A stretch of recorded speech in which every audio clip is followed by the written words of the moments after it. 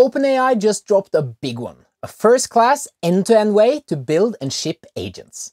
AgentKit consists of the brand new Agent Builder for visual flows, ChatKit for an embeddable chat UI, and the Agents SDK for complete code-level control.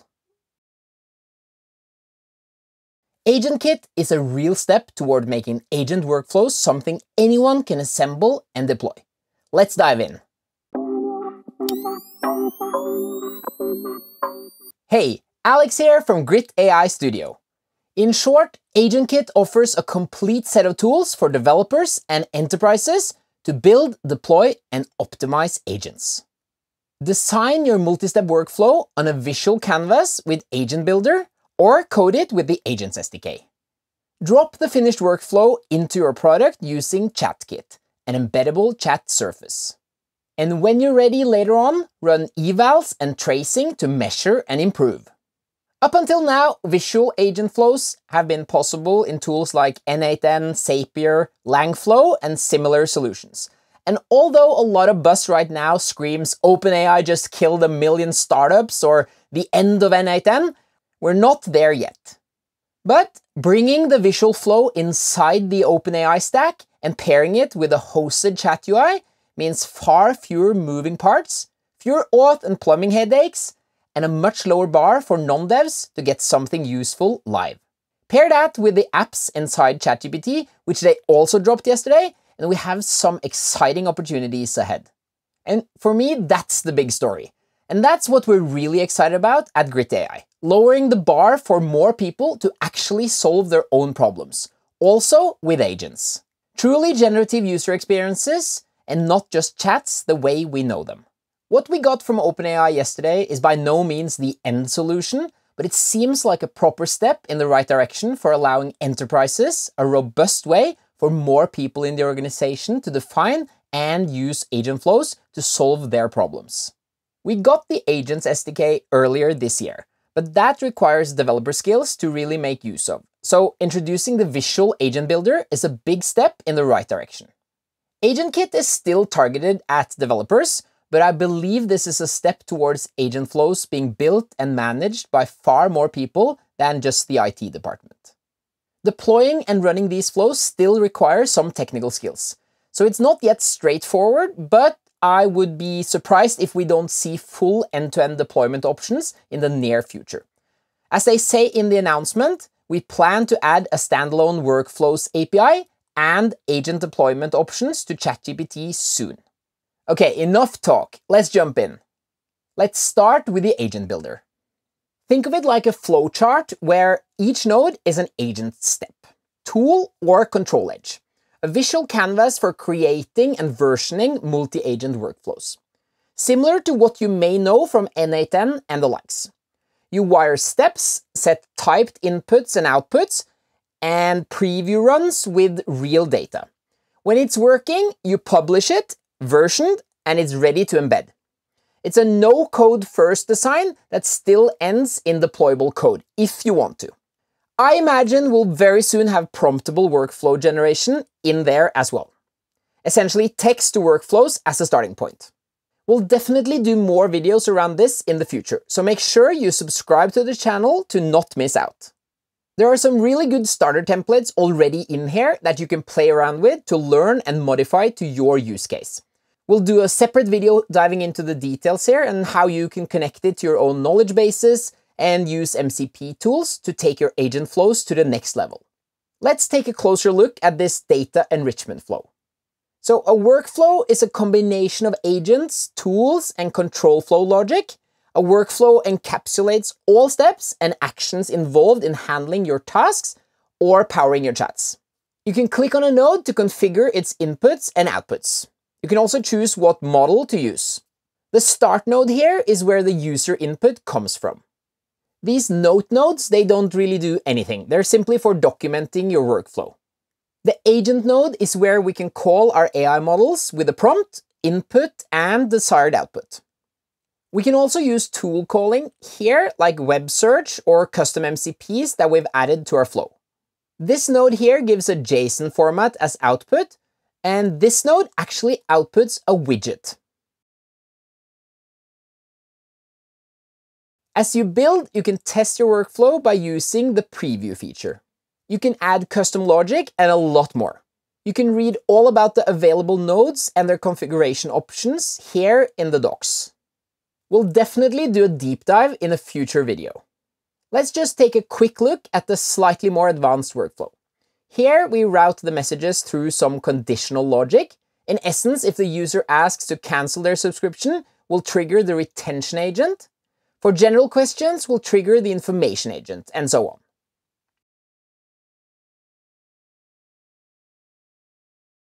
We can ask for user interaction in the flow with the user approval node. When you're ready to bring your agent to production, you can use ChatKit to embed the agent workflow into your product UI, or you can copy the complete agent SDK code. Okay, so let's take a look at ChatKit. We can use ChatKit's embeddable UI widgets, customizable prompts, tool invocation support, file attachments, and chain of thought visualization to build agents without reinventing the chat UI. It's the embeddable chat frontend. As OpenAI puts it, ChatKit makes it really easy to embed chat-based agents that feel native to your app or your product. It can be embedded into apps or websites and customized to match your theme or brand.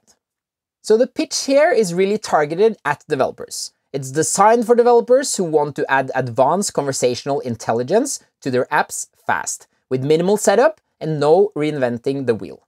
ChatKit delivers a complete production-ready chat interface out of the box. So by making use of rich UI widgets, your agent can show cards, forms, and status updates right inside the chat. And of course, this is not limited to products or apps. Think internal tools and workflows as well. Here's an example from HubSpot where you can see the chat offering interactive components like these cards here. So there are a few really cool demo apps here as well, like this interactive Earth where we can travel around the world interacting with the AI as a game.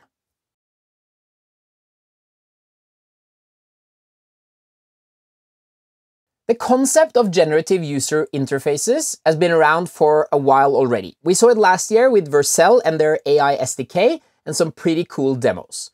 We've built a few of these solutions for clients this year, but ChatKit appears to be a super simple way for anyone really to create widgets and interactive components that can be used in our workflows.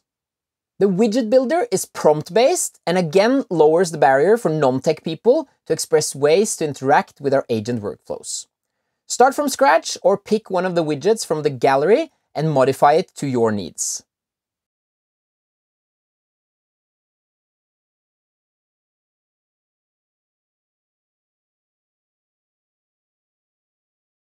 You can then take that widget and drop it into your workflow as output in one of the node steps, like we saw earlier. If you do want to code, the SDK gives you agents, tools, handoffs, guardrails, and tracing out of the box in Python and TypeScript. It plugs neatly into the broader platform and traces show you what happened in a run.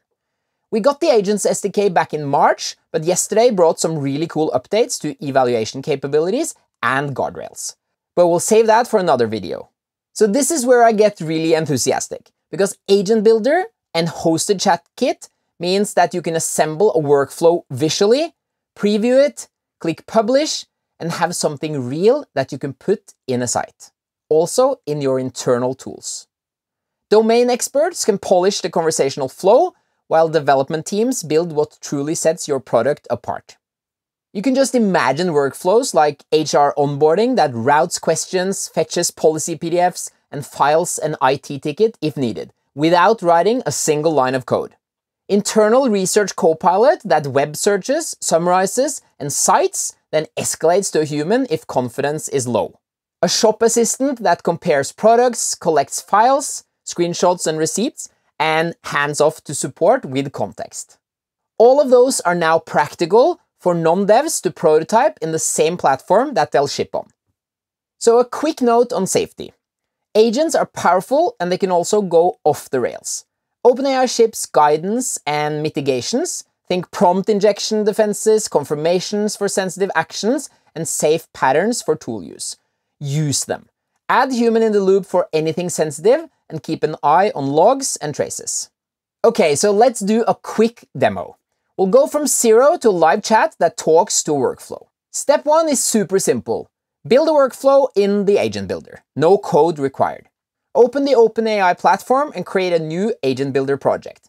Drop a starter template, connect nodes, set inputs and outputs, tailor it to whatever you want to build. Click preview and run a sample to verify each step. And then finally click publish to create a version and note the workflow ID. That's the ID that we'll give to ChatKit, which will allow it to talk to our workflow. There are in essence two ways to implement ChatKit. We'll focus on the recommended integration in this video. Embed ChatKit in your front end, customize its look and feel, let OpenAI host and scale the backend from Agent Builder. This requires a development server, which will run locally on our computer for this demo. The other, more advanced integration involves you running ChatKit on your own infrastructure. There you can use the ChatKit Python SDK and connect to any agentic backend. Use widgets to build the frontend. Follow the steps in the guide or use the starter template to get you going. We can spin up the starter kit on our machine. Just add your OpenAI API key and the workflow ID from the workflow that we just published. And now we can test the same flow that we saw in our preview earlier. But of course, here we could put this inside our own application in our style, apply our look and feel, and so on. Behind the scenes here, we simply add OpenAI's ChatKit script and mount the widget on our page.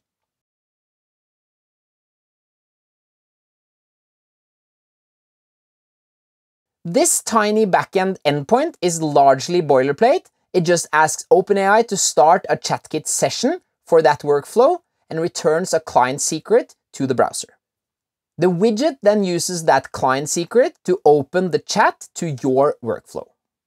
If you need full control, like custom authentication and uh, strict data paths, there's an advanced route. Just run a small ChatKit server with the Agents SDK and stream widgets and events yourselves. We'll definitely cover that in a later video. So let's talk big picture. OpenAI is converging the pieces, visual building, hosted deployment, and code-level escape hatches into a single mental model. For teams, and especially for non-developers, that's huge. You no longer need to reinvent chat UIs, orchestration glue, and templates just to see value. And for developers, you can still drop down to the SDKs when you need it.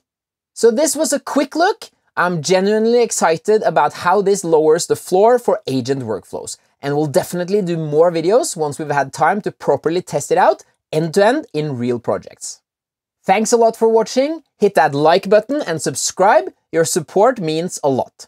I'll see you in the next one.